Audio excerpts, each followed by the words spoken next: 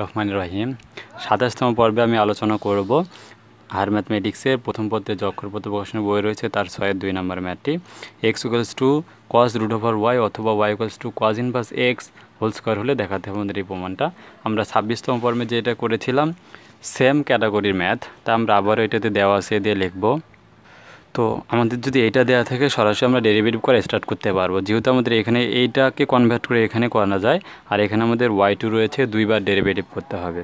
তো আমরা প্রথমবার ডেরিভেটিভ করব এক্সকে করলে এক্স ওয়ান সরি এক্সকে করলে, এখানে তো আমরা করব না, এখানে এই ফর্মেটে সাজে নিব। তার জন্য এখানে হবে cos inverse X equals to root over Y বর্গ যদি করে দেই, তাহলে cos inverse X whole square equals to হচ্ছে ওয়াই তাহলে অতএব এখান থেকে আমরা ওয়াই সমান বলতে পারি cos inverse X whole square তো এই ফর্মেটটা আমাদের চলে এসেছে।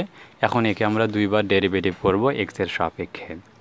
তাই ওয়াইকে করলে Y one X to the power something to cos inverse X যেহেতু এটা এক্স নয় কজ ইনভার্স এক্সে করতে হবে। কজ ইনভার্স এক্সের ফর্মুলা হচ্ছে minus one by root over one minus X square যেটা আমি শিট আপনাদেরকে দিয়েছিলাম। যারা আমাদের বুঝতে প্রোগ্রাম করতেছেন সেই শিট থেকে আমাদের কজিন বাস এক্সের ফর্মুলা আমরা করতে পারব।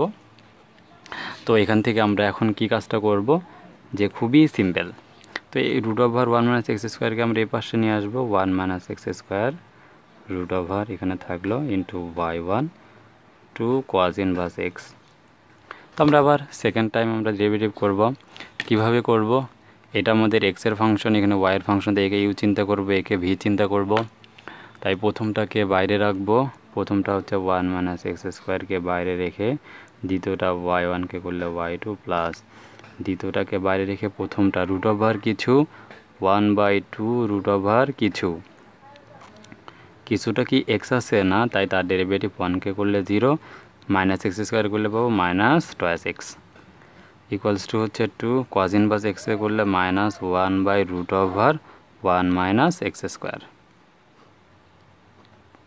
Then simple আমাদের ক্যালকুলেশন করার ফলে এখানে one minus X square root over এখানে ওয়াই টু প্লাস মাইনাস এখানে মাইনাস আসবে টু টু ক্যান্সেল আউট লবে থাকবে X Y one by root over one minus X square equals to এখানে থাকবে minus two by root over one minus X square but উভয় পক্ষে আমাদের one minus x square দিয়ে আমরা যদি গুণ করি, তাহলে ডাবল গুণ হবে, তার মানে ওয়ান মাইনাস এক্স স্কোয়ার থাকবে এখানে ওয়াই টু হবে মাইনাস এক্স ওয়াই ওয়ান হবে ইকুয়ালস টু মাইনাস টু হবে।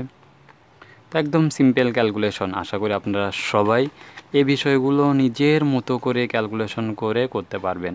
তো এখানে একটা জিনিস খেয়াল করুন, এখানে আমাদের কোয়াজিন এখানে মাইনাসটা ছিল, তাই এখানে কিন্তু মাইনাসটা সামনে কিন্তু আমাদের জাম করবে। আমি কিন্তু মাইনাসটা লিখিনি হ্যাঁ? এখানে মাইনাসটা জাম করবে। এখানে যদি মাইনাস থাকে, তাহলে এখানে মাইনাসটা থাকবে।